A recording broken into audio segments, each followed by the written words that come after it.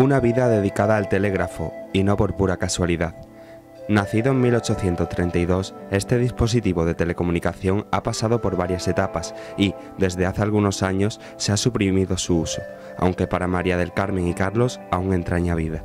Muchas veces he dicho que si las dos familias completas pusiéramos un telégrafo, le hacíamos competencia al nacional. Porque es que da la circunstancia que ella, su padre, telegrafista. Eh, Mi abuelo, su mi abuelo padre, telegrafista, su padre. mi tío, mis eh, hermanas. Un tío, todas, las- todas las hermanas, son bastantes. y por mi parte, pues yo creo que todavía más, todavía más, un poco Toda más o familia. menos. Porque mi padre telegrafista, el abuelo lo mismo, eh, todos mis hermanos, eh, bueno, toda la familia, toda la familia, telegrafistas. O sea, somos dos familias de telegrafistas. Las oposiciones fueron muy duras y, bueno, fue una oposición inicial para, para el cuerpo de auxiliar de telégrafos, que era el más bajo dentro de, de esto. Y, y luego, pues bueno, pues estaba, ya hacías oposiciones para el cuerpo superior ¿no? de la administración. Acababas el bachiller y después hacías oposiciones, claro. Y ya entrabas y, y si hacías otras, mi marido hizo otras, después yo no. Y bueno, muy bien, 40 años trabajando, muy a gusto, porque además era un trabajo que nos gustaba mucho. Es muy bonito, telégrafos. Es una pena que se haya acabado muy bonito. La magia pura del telégrafo ha sido relatada con el máximo cariño por Carlos, quien por ejemplo nos habló de que este antiguo aparato de relojería era normalmente de procedencia alemana y detalló las partes que participaban en la comunicación, como el gomero, el conmutador, el receptor acústico o las funciones de un relevador, que se utilizaban en comunicaciones de larga distancia, por ejemplo Barcelona-Cádiz, y cuya función consistía en renovar la corriente en una oficina intermedia para que continuase con mayor intensidad. pues había un jefe de servicio que es el que distribuía el servicio que teníamos cada funcionario. Entonces, cada día normal. Bueno, había veces que teníamos siempre el mismo, pero otras veces nos daban, pues no sé, lo que interesase más, dependiendo de los funcionarios que hubiese. Y luego teníamos unos turnos muy malos, muy malos porque era un servicio permanente. Entonces teníamos por la mañana y volvíamos por la noche, o al contrario, toda la tarde, de 2 a 10 daba lo mismo que fuese sábados, que domingo, que festivos, que navidades, que todo. O sea, allí estábamos y para tener vacaciones, bueno, los primeros años muy mal. Luego ya fue mejorando muchísimo el servicio, cada vez mejor. Había aparatos más modernos, los teletipos, que eso los habrán oído, claro. Teletipos con esa cinta picada, que era mucho más moderno y se trabajaba mejor ya. Pero vamos, el morse es que era agotador. Era un trabajo muy cansado, muy lento, muy lento. O sea, si ahora mismo damos unas palabras en morse, verán que era una cosa lentísima, claro. Parece que has dado un montón y has dado dos palabras, pero muy bonito. Pues aproximadamente se daban unas 60 letras por minuto. Pero letras, ¿eh? Letras, no palabras. letras, Letras. unas 60 letras por minuto. O sea, que era... Era la velocidad media de, de transmisión. De hecho, si damos las palabras, el SMS es pues dando, no sé exactamente, pero, pero es- así, transmitiendo. Es igual que si transmitieses.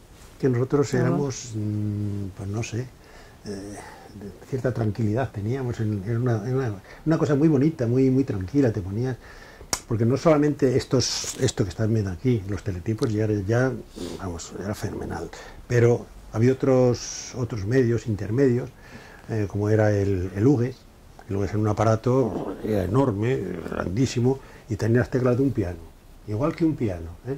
le das ta ta ta ta, y, y luego tenía un chisme que iba, tenía un- una rueda que iba girando y cuando le tocaba las teclas le tocaban, pues iba imprimiendo. Bueno, y luego, eh, aparte de eso, estaba también el bodó, el bodó, que era un aparato con un, con un teclado pequeñito, con cinco teclas, y a base de estar con las manos, es que era así, mira, era, era así, con las manos, estabas así y te tirabas la tarde entera, siete horas, ocho horas, y sin levantar las manos de ahí, ¿eh? en el clavier, que se llamaba el teclado del clavier. Y luego salía, pues un aparato también, pues salía impreso. Siempre en todas estas, que, en todos estos sistemas, salvo los teletipos ya, mm, siempre tiene que haber una estación intermedia, es decir, una oficina intermedia, donde se relevara esa corriente, como hemos dicho con el relevador, se relevara o se o traslator, había de relevador y traslatores, dependía de, de, que fuera una sola o, varias, o varios sitios. ¿eh? Pero siempre había, es decir, que Lugues, esto el Bodó y el Lugues, pues tenían que tener siempre una intermedia. Tanta importancia fue adquiriendo el telégrafo en sus primeros años que el cabeza de familia se casó con su uniforme de trabajo compuesto con un cinturón dorado y una gorra de plato. Reconoce el avance en el servicio durante los años en la empresa, a la que más tarde se unieron los teletipos que imprimían a gran velocidad y cuando se conectaba con una oficina se ponía en automático a transmitir. Era más moderno y facilitaba mucho la labor de estos funcionarios, en cuyo oficio requería mucho esfuerzo y concentración. Bueno, esta estuvo en la Plaza Mayor, empezó hace un montón de años en la Plaza Mayor, cuando mis abuelos estaban en la Plaza Mayor. Después eh, ya Santa pasó Eulalia. a Santa Eulalia, ¿eh? Mm. donde está ahora el, el parking. Pues encima estaba un edificio muy bonito que era que era como un palacete y ahí estaba tele, correo y telégrafos. Le resultaba pequeño, hicieron el de la Gran Vía y ahí murió telégrafos. Vamos, murió para ellos, para nosotros no ha muerto. Cuando se casaron, la empresa de telefonía tardó cuatro años en instalarles el teléfono. Tener este aparato en casa era algo que se veía como un lujo. Cuentan que los días cargados de trabajo eran los de San José, la Virgen del Carmen y en Navidad, días en los que la afluencia de mensajes que pasaban por sus manos era de gran peso. Los dos se conocieron en el trabajo y guardan muchas anécdotas de aquella época en la oficina de Gran Vía.